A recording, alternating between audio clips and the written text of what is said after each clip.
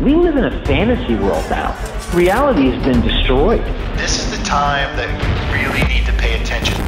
The probabilities are overwhelmingly on gold's side. That is the best environment to see gold increase its value.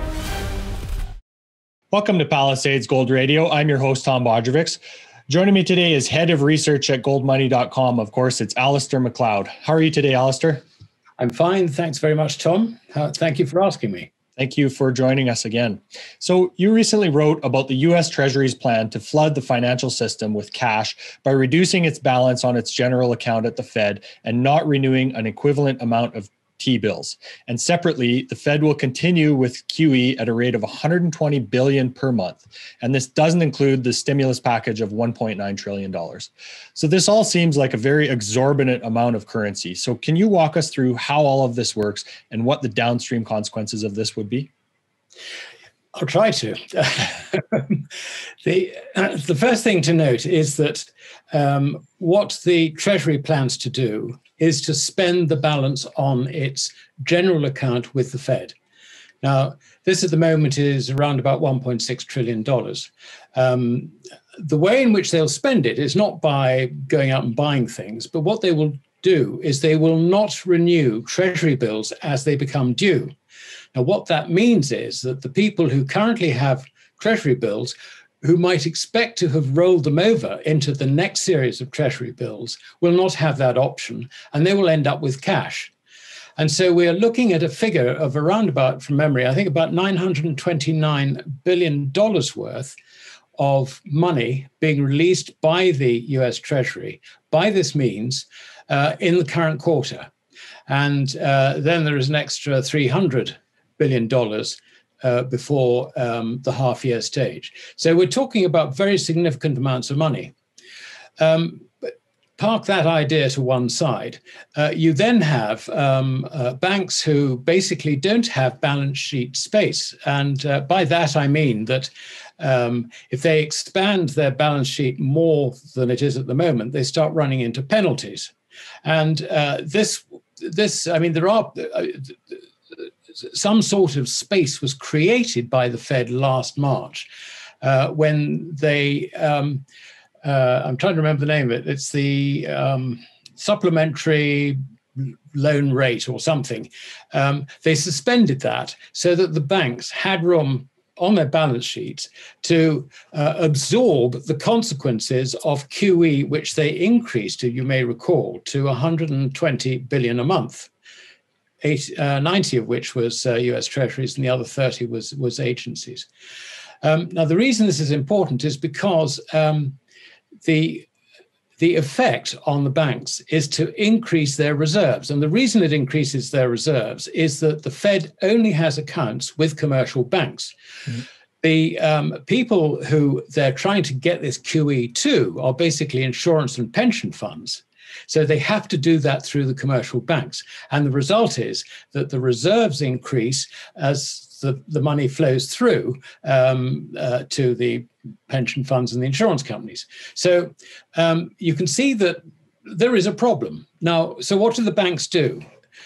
the problem that the banks have is at the same time, uh, the Fed's 120 billion a month of QE is continuing. So um, they've still got this problem, but the supplementary, um, um, whatever it was called, you know, that supplementary bit, which costs roughly, I think it was um, uh, three uh, percent for an ordinary bank and an extra two percent for uh, a GSIB. Um, that is due to come to an end at the end of March. And so far, the Fed has not turned around and said, we're going to extend it further so that you've got room on your balance sheets without being penalized. So it looks like um, that that's not going to be extended. It looks like the banks are going to have um, a problem of limited space on the balance sheets, and uh, therefore they're going to start turning away big deposits. And the way they will do that, and we've just actually seen this in Germany with the German banks turning around and saying to large deposits, um, you know, sorry, we would recommend you go elsewhere because we're going to have to charge you to deposit money at this bank. And that effectively is the route, just about the only route um, that will be left for uh, the, the, banks in America assuming that some sort of relief is not granted to them in terms of how much uh, balance sheet they can run relative to their capital. So it's very, very clever idea if this is indeed what is intended. What we have is the US Treasury forcing the commercial banks to, in effect, uh, implement negative interest rates on their deposits, on some of their deposits, on new deposits. I mean, it's up to them to decide how to do it. Meanwhile, the Fed doesn't have to um, go into negative rates. It just remains uh, at the zero bound. Now, this is very, very important because the dollar is the currency in which all commodities are priced. And as soon as you um, put negative interest rates on the dollar, in fact, even zero interest rates on the dollar, in theory, what you're doing is you're creating a backwardation uh, in in the whole commodity com- complex. And it's it's interesting to note that uh, the whole of the commodity complex basically turned on a dime um, in the second half of last March on the 20th, mm. Between the 20th and the 23rd, which are the two announcement dates. The first announcement being negative uh, zero interest rates. Cutting interest rates by 1%. Uh, and uh, the second one being we're going to do whatever it takes, QE 120 billion, if you know, if necessary, more will be done. And we're doing this and we're doing that. There was that statement that was on the 23rd of March. So um, the Fed will be able to stay to, to, if you like, not have to go into negative rates. Now, I can see that the Fed would not want to go into negative rates, but I can see that equally that the Fed would want to have negative rates in the market. So this this would would uh, uh, satisfy that requirement. And the other reason I think that this is likely to be the strategy is that um, the only other major central bank with positive interest rates, and by positive I mean at zero, uh, is the Bank of England. And the Bank, Bank of England has given very, very clear um, indications that they want to introduce negative interest rates. Oh, if we did it here in, in, in, in Britain, that would leave the Fed as the only major central bank with positive or zero to positive interest rates. And given that these guys meet every two months and chew the cud at the Bank of International Settlement in, a, in sort of, you know, a sort of Chatham House rules meeting where nobody says anything outside, you can see that uh, this negative rate thing is something which is quite likely, I think more than likely, that both the Fed and the Bank of England would want to join in on. And uh, I mean, obviously, they wouldn't want to do it on their own. Um, but I think that this is the way it's going to be done. It looks like it. And that was the thrust, if you like, of of my article and what I conceived to be the, the you know the reasoning behind uh, the, tre- the, the Treasury increasing um, the amount of money in circulation by drawing down on its general account of the Fed, hmm. and basically forcing those those negative interest rates to the banks, right? Yeah. Yeah, exactly. So, um, I, would like to go back to a term that you used there, backwardation. That's something that was brought up recently um, when I spoke with Ed Steer. Um, so, can you define what backwardation, um, how that works, and, and what it is, Alasdair? Yeah, I mean, the normal way in which you regard a backwardation is that there's a shortage of a commodity for uh, near term delivery compared with longer term delivery, so that the price um, for delivery today or tomorrow is higher than the price, let us say, for delivery in a month's time. Mm-hmm. But in this case, we're looking actually at the money side of what happens. If you've got negative interest rates on overnight money, um, then obviously it costs you to have overnight money. So you don't want the money. So, but going out along the yield curve, it then gets positive. So your backwardation is coming from the other side of the, of the equation you know money commodity. So that is actually what happens. And um, this i mean basically it, it would just drive commodities up and up and up and up over a period of time. And as i say we've already seen what's happened to commodities uh, since march the 20th and 23rd last year. Mm-hmm. that's what we mean by backwardation in this case. It comes from the money side. So Alasdair, why are bonds moving up all, all over the world? We've recently seen that the US bond yields moved up, but adding that, um, Canada, Germany, Australia, and the UK. So, what is this an indication of? Uh, well, it's it, it's an interesting question. I think um, there are two possibilities, um, and I'll dismiss the, the first one first. The first one is that we're heading for economic recovery, and therefore bonds are beginning to reflect, if you like, um, a future where things return to some sort of normality. Um, I don't think that's the case at all. Um, I mean, before we started this this broadcast, we were talking about um, the damage that's been done to underlying economies. Supply chains are all over the place. Um, I, something around about a third, at least a third, possibly more, of major economies have basically been put out of action by COVID in this year. And the idea that suddenly it's all going to be all right again, and you know we all return to normal, and banks will lend money again, and you know we'll go out and spend, and we'll get into aircraft and fly and see other places. No, forget it. We're not going to have that recovery.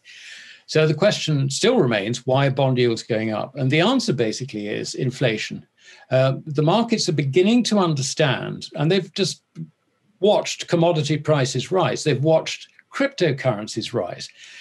They've watched particularly silver rise. They have watched gold rise, but not by very much. And they've noticed the dollar weaken.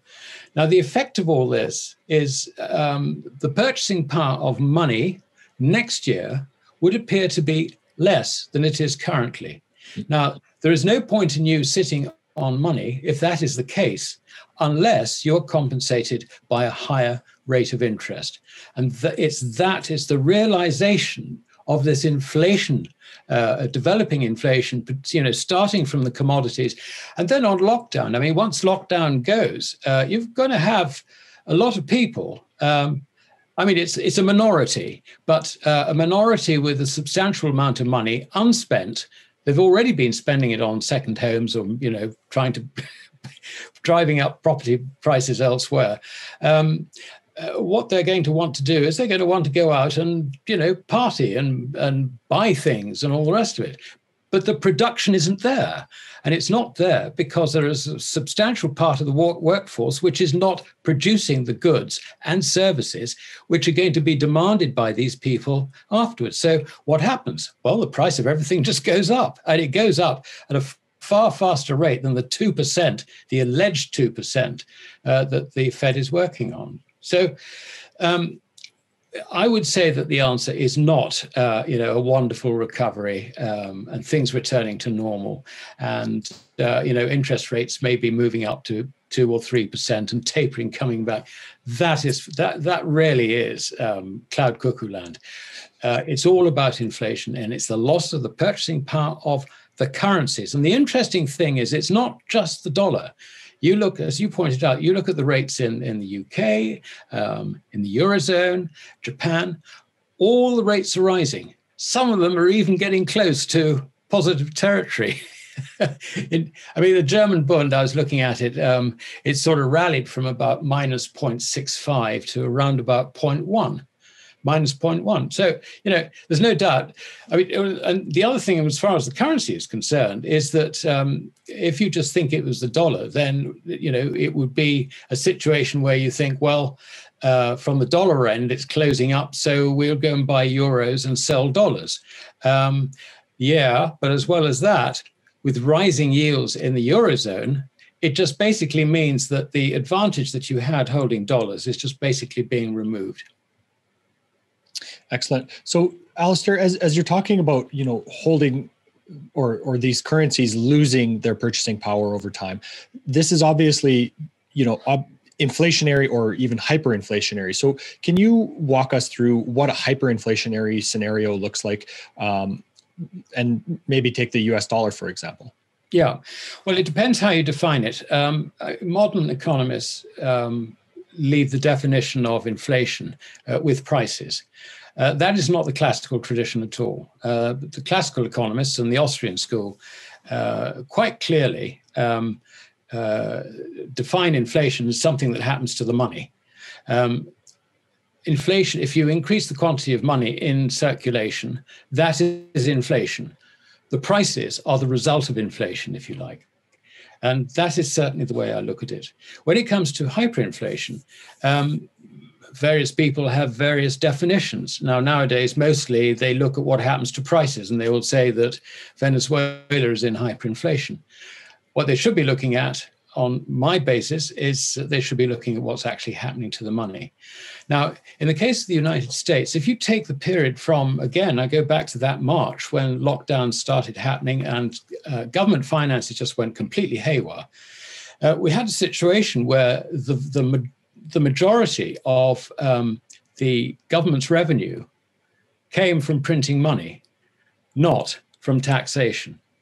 So the first condition I would say is that uh, you have to see you, you, you would expect to see in in with hyperinflation uh, the um, government finances being uh, predominantly um, paid for through inflation. That's the first thing. And then the second thing you need to look at is is it possible that this is just a one off? Or is it something that's going to lead to a continuing path of financing through inflation, depending on inflation? And in the case of the United States, particularly with the election of Joe Biden, I would say that that is also true. So, on that basis, by my definition, the dollar is already in hyperinflation. This is not yet recognized anywhere, um, and particularly by the people who follow prices, and more importantly, people who believe the uh, BLS numbers that the CPI is only rising at 1.4% or whatever they say. I mean, that is complete rubbish. Um, prices, I mean, every, every American I've spoken to confirms what John Williams of Shadow Stats has been saying. Uh, and that is that uh, price inflation has been running at closer to 7 to 10%, uh, since uh, the great financial crisis, not the sort of you know, 2%, give or take a, a, little bit, which the CPI reckons. So the numbers that you are getting are completely false. And I think that's a very, very important point for your viewers to understand. Mm-hmm. Alasdair, the last time you and I spoke, you were you were telling us that the basically the EU banking system is imploding. Has anything you know in that situation changed or is that is that situation still just as fragile? Uh, the situation is just as fragile. And to that we can probably add something else. Um, the eurozone banks have um, got an enormous amount of government debt on their balance sheets uh, and with um, rising bond yields, obviously the capital value of that debt is going down. Now, some of these banks are very, very highly geared, and it wouldn't take very much of a rise in bond yields in the eurozone, um, you know, into into positive territory uh, to wipe out uh, banks. And I would I would particularly say that the Italian and French banks are the ones which appear to me to, to be at, at most risk amongst the, the you know the big countries. Obviously, you've got Greece, Portugal, uh, Spain isn't all that clever either. Um, but even in Germany, I, you know, the um, Commerzbank and uh, Deutsche Bank, their their uh, balance sheets look pretty lousy. And if you look at the way the shares have performed, I mean, you know, they're bouncing along the bottom. I mean, Deutsche Bank has doubled, like from about five euros to ten euros, but you know that compares i can't remember what the old high was 200 something like that? I mean you know it's it's literally um, uh, you know the whole thing is just it's it's just a zombie a complete banking zombie. Now with businesses going bust in the eurozone because of covid i mean it's exactly the same problem we all have. Uh, you know you begin to ask yourself how long can this situation of the banking zombies continue? And the answer is um, can't be very long Mm-hmm. So as we talk about all this devaluation of currencies and and currencies being let's say printed into oblivion, you recently tweeted a chart um, that we'll we'll put up on the video here comparing basically how cheap the price of gold is compared to all the dollars in circulation and at the Fed. So tell us a little bit more about about how cheap gold is relative to all of this money supply. Well, it's it's I mean it's it's cheap pretty well as it's ever been. Um, the most expensive times for gold relative to dollars uh, was when it was first fixed back in 1934 at $35 an ounce, and also when it peaked at $800, 850, I think it was in was it 1980 or 1981 um, and uh, but ever since then i mean you know it's just gone down and down and down so um, priced relative to dollars and we're talking about the quantity of dollars in issue compared with gold in issue, it's as cheap as it's ever been. It's it's just absolutely extraordinary. I mean, it's something like a tenth the price it was back in in uh, 1934. And it just shows how broken markets are because here we have monetary inflation taking off. You can argue the toss about whether it's hyperinflation or not, but the one thing you must um, admit is that we have uh, unprecedented monetary inflation for peacetime. And on that basis, you would think that gold would front run the increase in the quantity of dollars, the quantity of euros, the quantity of pounds, and the quantity of yen. But no, it's just sitting down there on the bottom like a dead body at the bottom of your swimming pool. that's a that's a that's a terrible terrible thing to imagine. Terrible, terrible image, I know, but that's what it looks like. So, as as you see it, could could gold start to pick up when when yields start to drop or start to be controlled? Uh, it's it, one of the big mistakes I think a lot of people make. In fact, the whole of the macroeconomic community makes is that they think that uh, rising bond yields is bad for gold. It isn't. I mean, I just, you know, without going into too much de- detail, if you look at the 1970s, um, we came into the 1970s with um, interest rates, dollar interest rates, I think from memory, something like seven or eight percent, and the price of gold at $35. Um, we exited the 1970s with the price of gold having seen 800 plus and interest rates, you know, not 7, 8%, but 19.5, 20%. I think prime rate was 20.5% at one stage. So you had gold which multiplied many, many times, while at the same time, dollar interest rates trebled. So, you know, what really matters is not, um, uh, you know, bond yields going up. In the very short term, obviously, traders will look at it um, and uh, that will spark their interest one way or the other. But actually, what really matters is uh, what is the um, what's happening to the purchasing power of the currency compared with the purchasing power of gold. People make the mistake also of saying, well, gold pays no interest. Now, that's actually not true. Uh, what they're looking at is physical bullion in your possession, but then you should be comparing it with $1,000 bills in your possession. They don't pay any interest either. But if you use your gold, if you deposit it, if you um, lend it to someone else, it gains an interest rate. And the interest rate is far lower uh, than you would have to or expect to pay in normal times on a fiat currency. Um, because it is a completely different thing. Um, so, you know, those are the relationships that really matter. And I think that this idea that we have rising bond yields and this is why gold has gone down, um, that could well be true, but equally it is completely wrong. And I would expect that at some stage there would be a reversal, if you like, in this situation uh, when people actually realize what is actually happening to the purchasing power of dollars, euros, pounds, and so on and so forth, and understand that it's not happening to gold. Mm-hmm. So let's move on to silver, Alasdair. What do you think the outcome of the bullion banks holding this big short position that they have is?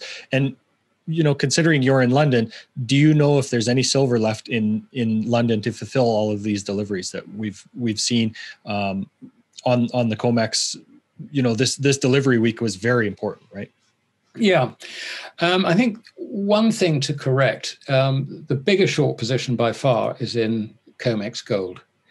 Um, and the reason I mention this is that it is in the interests of the bullion banks to try and get the price down. Um, and what they basically want to do is they want to convince you not to hold gold so that they can buy your gold. I mean, that's that's basically the um, you know what they're trying to do in the market. Um, now, having said that, the problem they have with silver is that um, it's a very illiquid market, and when there is very little silver around, it's very difficult to know where to get hold of silver. And they have been caught somewhat by, um, you know, this, if you like, sort of Wall Street, Robin Hood thing of trying to trying to persuade people to have a go at the bullion banks. Um, it did actually create something of a run on, uh, you know, physical coins, small bars, things like that. Um, and all the information I have is that um, there is virtually none available in the London vaults. Um, I won't say none, but virtually none. Mm-hmm. Same is true in Switzerland. Um, I've been talking to friends in Australia, and they tell me the same thing. I mean, the interesting thing in Australia is that the Perth Mint refuses to sell you any silver, but claims that they've got 40 or 50 tons which they can ship over to New York to relieve the problem on COMEX at the drop of a hat. I mean, could be it could be that the system, as it were, is hoarding whatever liquidity it can in the current situation. So I wouldn't rule that out. Um, but basically, uh, you know, the silver stocks are, are, more or less cleaned out, and um, I notice also that you know there's some deliveries going through. I think something like 13 million ounces or something um, delivered in this last week. Uh, from you know standing to for delivery on Comex. So um, you know, in a tight market, this is creating quite a bit of difficulty. And I think it's only a matter of time, really, before um, this uh, uh, bear raid by the um, by the bullion banks trying to uh, get their position straight before the next rise in the gold price and the silver price. I mean, I think it won't last very long. I mean, to me, it's just a wonderful opportunity. I mean, I'm saying, you know, uh, thank you very much indeed for the opportunity to continue to stack. Um, mm-hmm. I know a lot of people, you know, who um, perhaps haven't really sort of grasped uh, the importance of having physical gold and silver as money in the current environment as an insurance against um, a, a, collapse of fiat currencies. They haven't necessarily quite got that message on board, and they're th- they're looking at it as if this is an investment, and they see um, their investment going down. Now, normally, if you're a portfolio manager, or you're managing your own money, you see an investment go down, you think, I better ditch it because it's taking me nowhere. And, which is fair enough. And that's usually the right the right thing to do mm-hmm. if it was an investment. But we're talking about money, which is a very, very different thing. So I mean the point is the point is that in the fullness of time, the physical gold and the physical silver which you possess, you will spend and you'll spend it when nobody else has got it. And you can buy a lot of things when nobody else has got gold or silver. I, the, the amount of physical gold and silver held um, in in Western markets is is pitiful. I mean, it really is. They've got a lot of paper stuff, but I mean that'll go. That goes with um, uh, with fiat currency. I mean, that'll disappear. So you'd just be left with um, you know a few guys who've got some physical, and um, you know they will be kings of it all they survey. It's, it's more, more of right, a, I believe I am. more of a store of value than a than an investment, right? Well, it's more than that. It is throughout history. It has been money, and um, it continues to be money. And um, it's what is it is the risk-free asset that central banks have on their balance sheets. They don't have Bitcoin; they have gold, mm-hmm. and they have it there for a reason.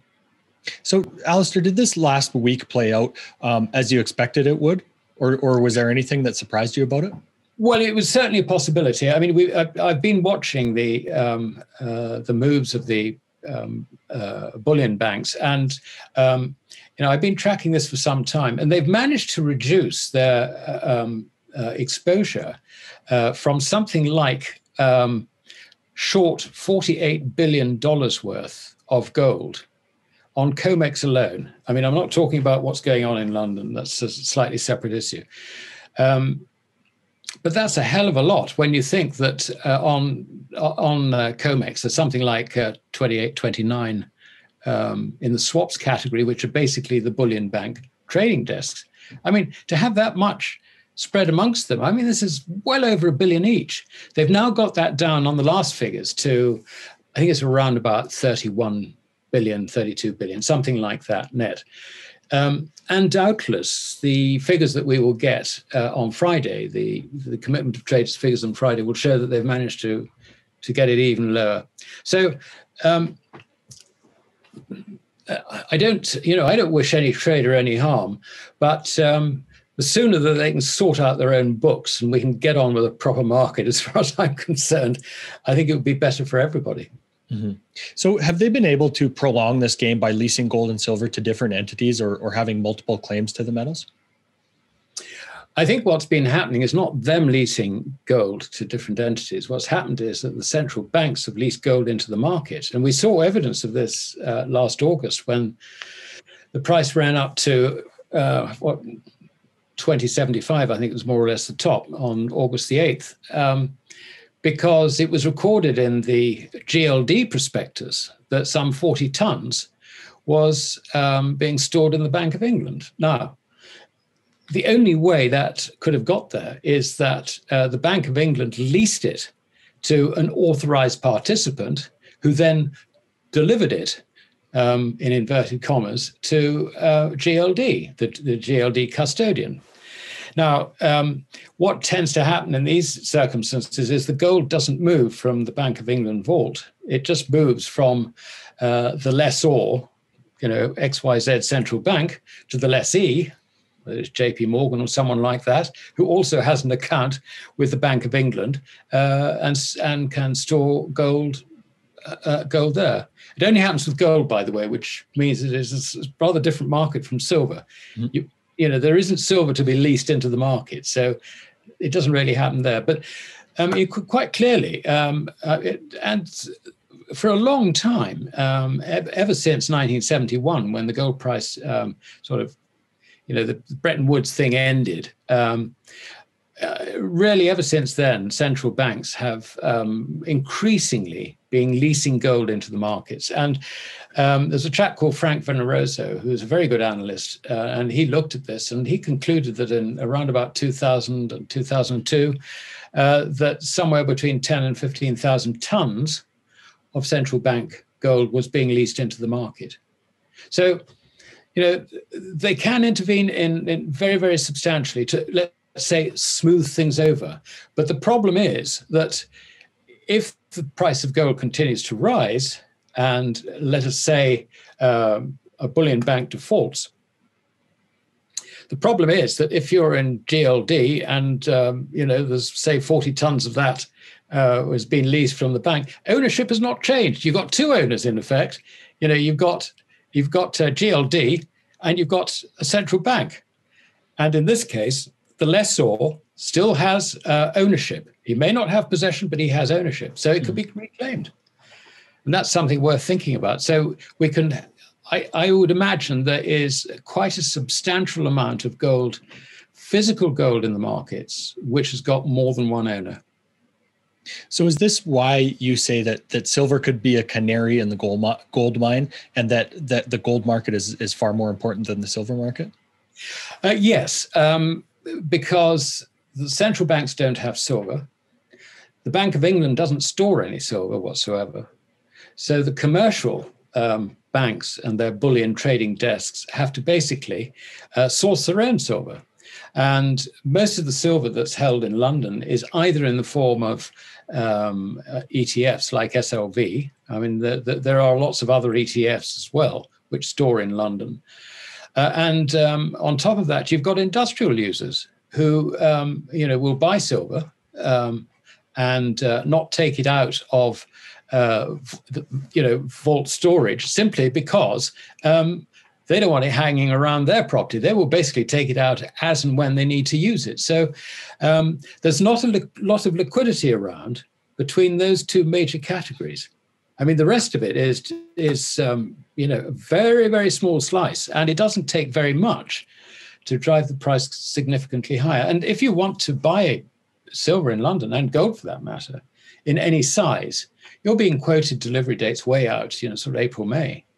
Um, which which um, uh, is in a sense it's not unusual, but it's more acute, if you like, now than it has been in the past. Mm-hmm. So, as we talk about indicators like this or, or canaries, can you explain to us your views on Bitcoin, its its non-expanding supply, and why it could die along with fiat currencies?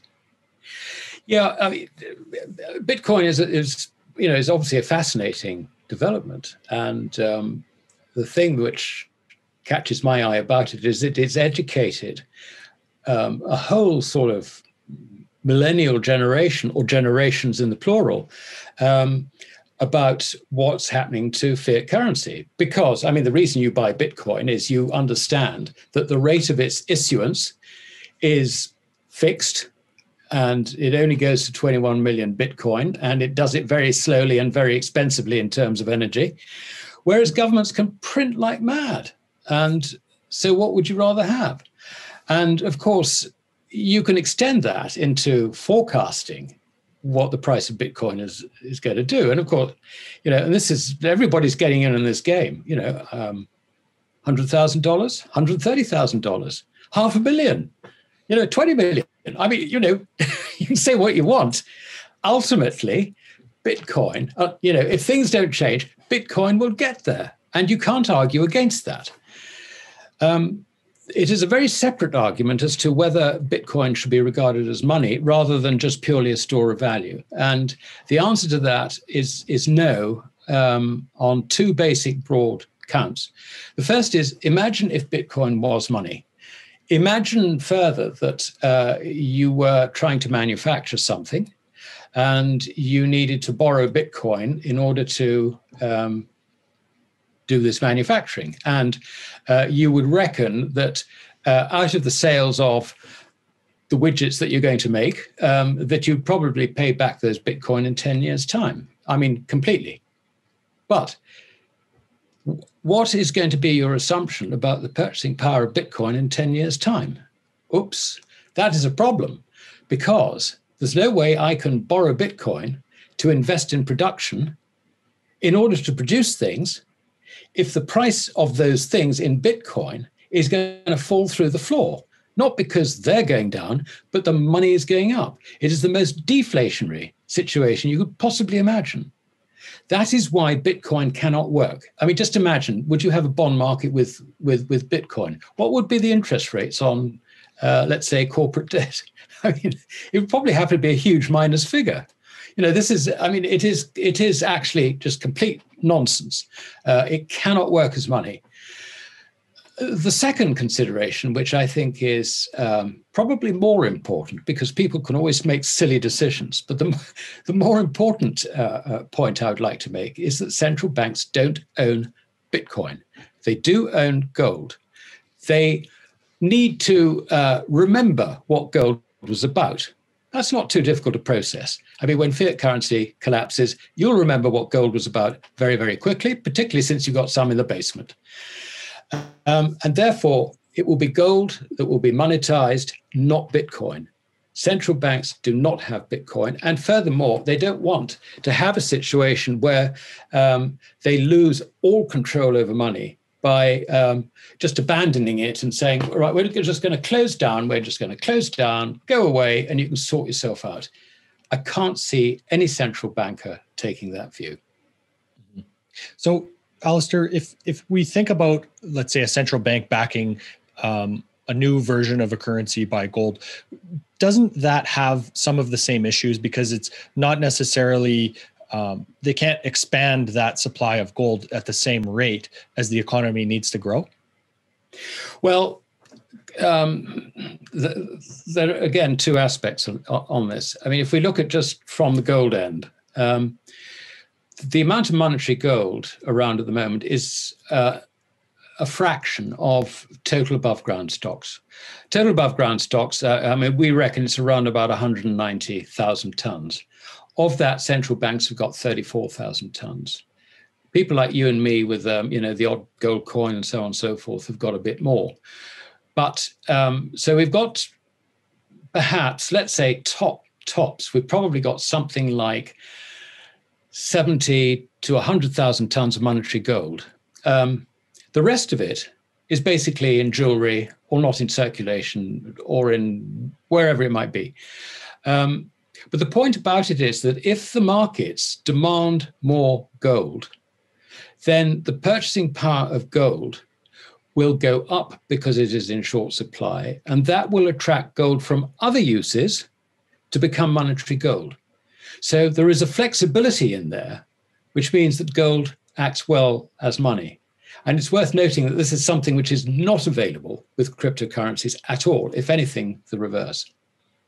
Excellent. So, Alasdair, uh, you know, a couple of questions that I've been getting recently are how how does one go about thinking about using fiat currency right now?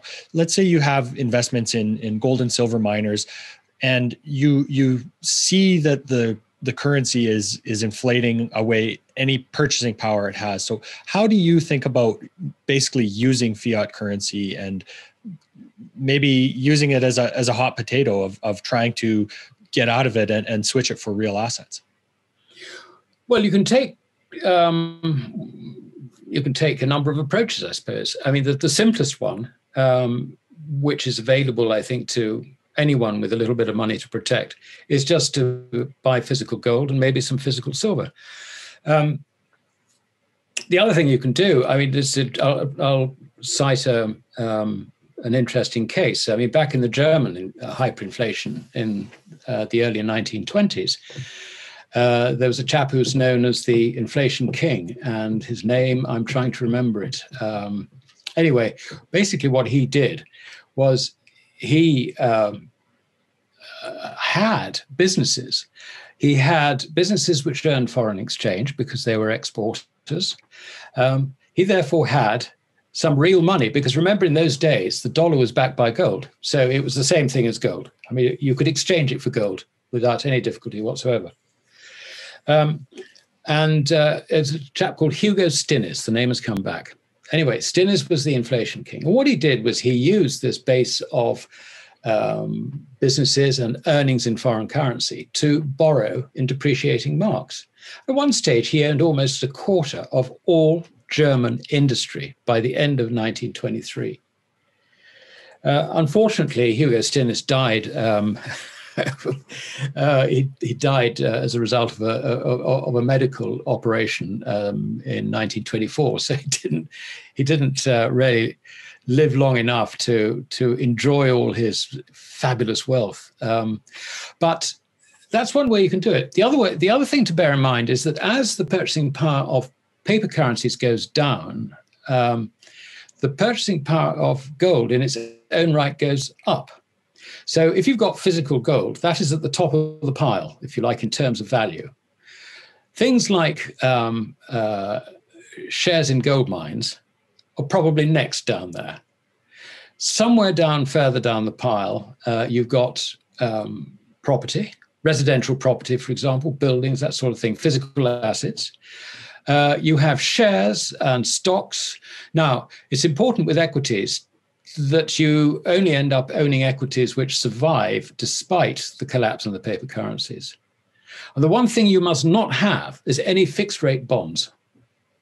So you can see the immediately the problem that this gives governments in this environment because um, uh, you know the, their cost of funding is just going to go through the roof. But to give you an idea as to how powerful the purchasing power of gold is under these circumstances, in 1923, um, sort of mid 1923. So, you know, some months before the final collapse of the currency, you could have bought a six bedroom house in a, uh, you know, as, uh, if you like, a fashionable uh, residential area of Berlin for uh, $100. Now, $100 was just under five ounces of gold at the time. That is the difference, if you like, between the top asset uh, in terms of what you can do with it. And more or less, apart from mine, you know, mines and so on and so forth, the next top asset, which is residential property. And I mean, residential property got killed because uh, the yields on them just disappeared completely. So, um, as far as I'm concerned, I think the way to play the inflation game for most people will be to have some gold and some silver. And remember that in the complete collapse, that it's not just you that you've got to be considering, it's your family, your friends, those in your community, because there has to be some sort of social cohesion, and that is going to only come through the cooperation of people with something to cooperate with. And I think that's a very important point to remember. Unless you're one of these guys who just heads for the hills and sort of locks himself away until some stage in the future um, it's all over. But uh, you know, that's that's I don't think being socially responsible. It's being personally responsible, perhaps, um, but I don't think that's an opportunity which many of us, certainly in this country, have. Hmm. America is a bit different. well, on that on that uh, you know dis- disappointing note, Alasdair, is there anything uh, that you're thinking about this week um, that's that's kind of capturing your your attention or your imagination? Well, it's uh, sort of a bit of a contrary, really, Tom, because um, I've been writing about this damned inflation thing so many times. I mean, you know, I can only beat people's head against the brick wall so much before my arms get tired. so I'm uh, this week. I mean, tomorrow's article will look at the ridiculousness of um, uh, following statistics and I start with a quotation, which was one of uh, Lord Canning. And Lord Canning was very briefly prime minister in 1820. And even in those days, before computers and all the rest of it, he said, I can prove anything with statistics except the truth. And I think that's something that we ought to all bear in mind every time we look at the garbage that comes out of government statistical departments. That's a that's an excellent point, Alasdair. Uh, of course, we can find more of your writing at goldmoney.com, and also um, your your Twitter handle is at Macleod Finance, where you you post a lot of that stuff as well on uh, King World News. Is there anywhere else you'd like our listeners to find you? Well, uh, I think that more or less covers it. Uh, um, I'm not really all that good at all this sort of social, you know, doing all these sort of Facebooks and Twitter, I can just about manage.